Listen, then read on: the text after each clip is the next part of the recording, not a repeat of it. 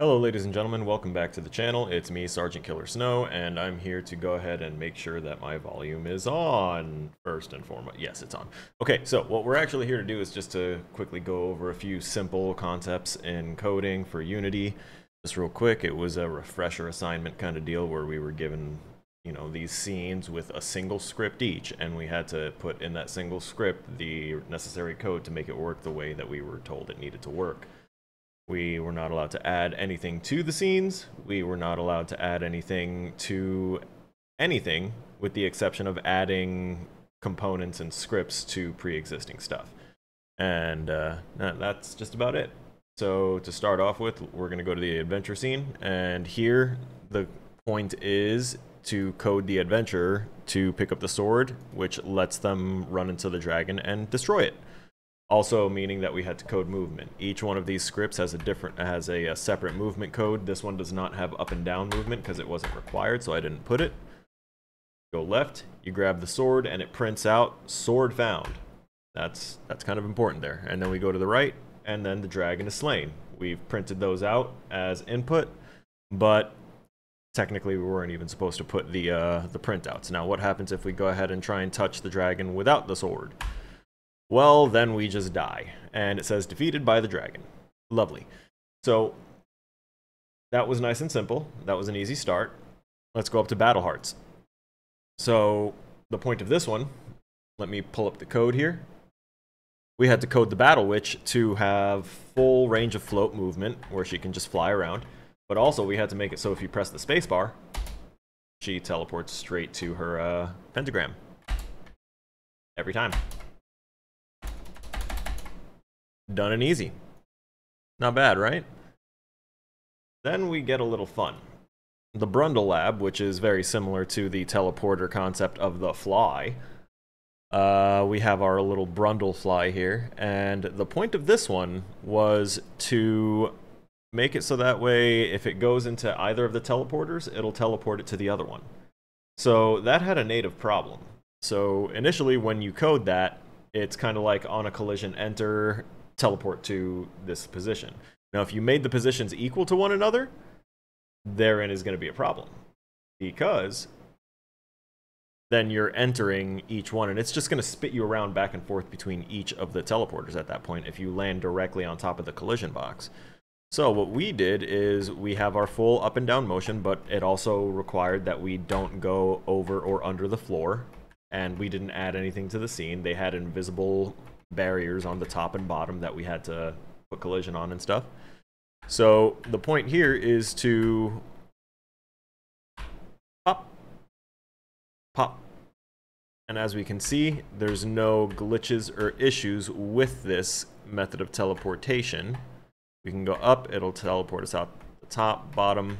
We're just not small enough to get past the teleporter doors, which is totally fine. Now, if I were to say change that even a little bit, I just changed it by one unit. One single unit. One. One number off. Not 100 units, not 10. One. One unit. You ready? Welcome to a perpetual life of hell. This is why it's important to test your stuff and get your values correct. So let me go ahead and change that back since I haven't technically submitted this yet and I don't want to submit something that's busted. All right, that's done. We'll compile, we'll test it again just to be sure that our code is clean and functional. Bangers and mash, beautiful. Also our character flips, which is a nice little thing. Uh, all right, next we have the Limbo Boy.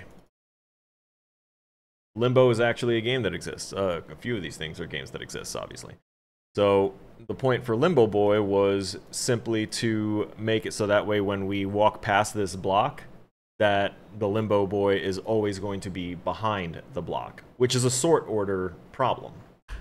So we change the sort order and we are walking behind it. Whereas beforehand, we were walking in front of it and you could see Limbo Boy's eyes. So that one was much simpler. We'll go on to the Scribblenauts Light, which is also very simple. the point of this one is when you are playing it, when you let go of the spacebar or are not pressing the spacebar, the light is off and blue. As we know, in the world, when there's no light, there's always a dim. That's obviously just a media thing, but video games are media. So when you hit spacebar, the light, it's there. When you release it,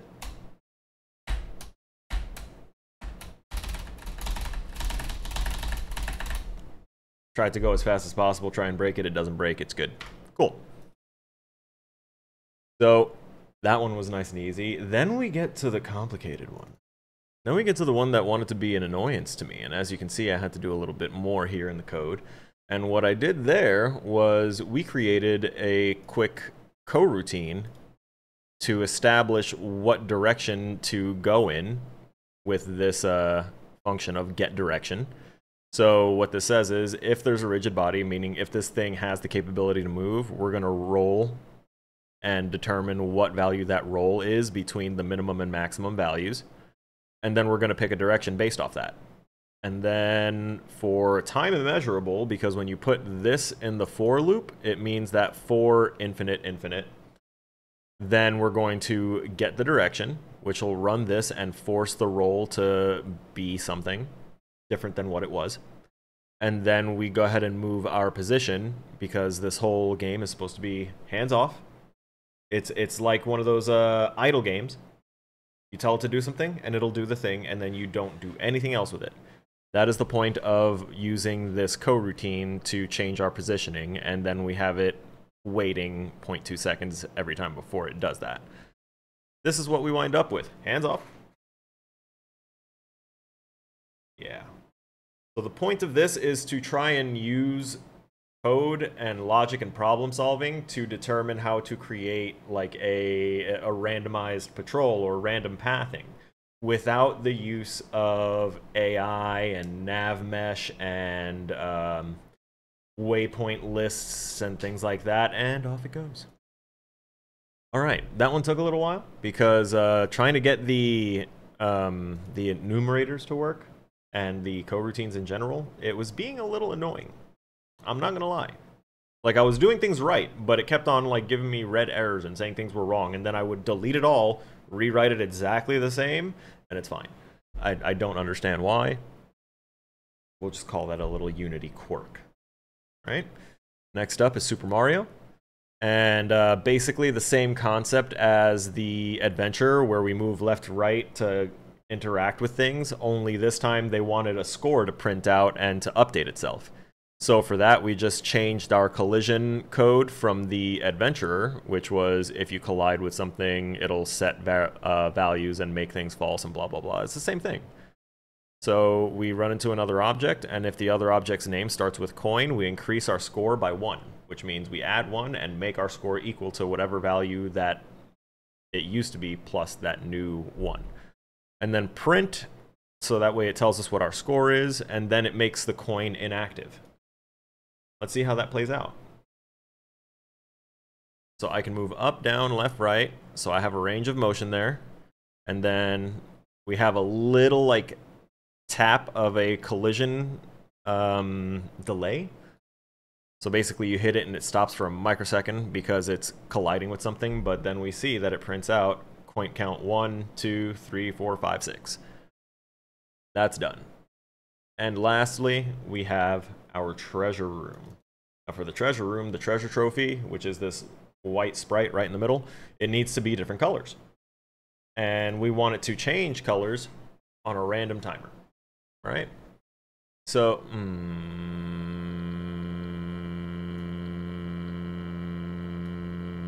okay, no, I already set the uh, the minimum and maximum for the timers um, as public floats so they can be altered here.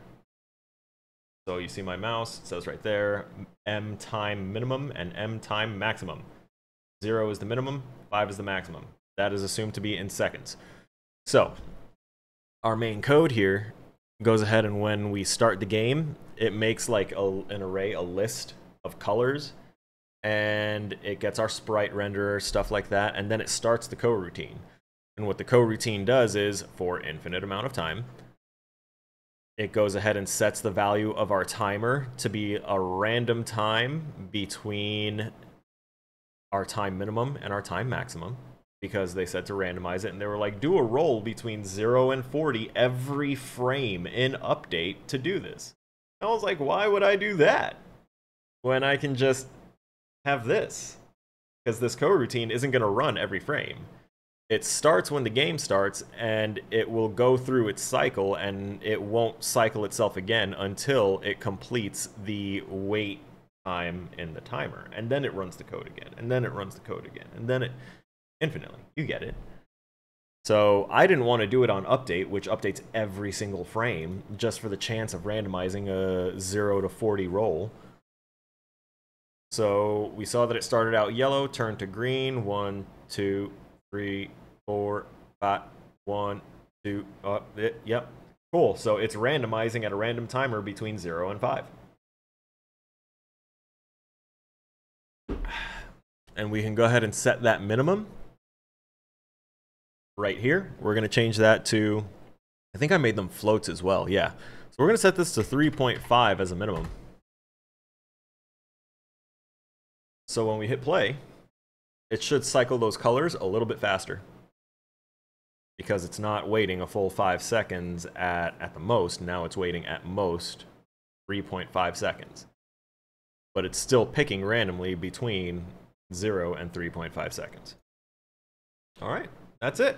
I hope y'all enjoyed that. If you want to know anything more about the code that was used, you can go ahead and ask in the comments. You can jump into my Discord. You can do any of that. I appreciate y'all for being here. Frosty.